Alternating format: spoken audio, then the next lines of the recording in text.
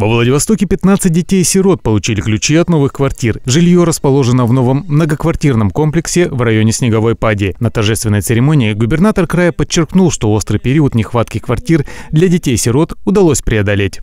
Мы проводим большую работу э, с тем, чтобы вот э, эта категория детей, которые были э, лишены э, возможности э, иметь свое жилье, иметь родителей, получали квартиры. Если 17-18 год мы выделяли по 300 миллионов, то уже начиная с 2019 года мы выделяем где-то по 2,5, по 3 миллиарда.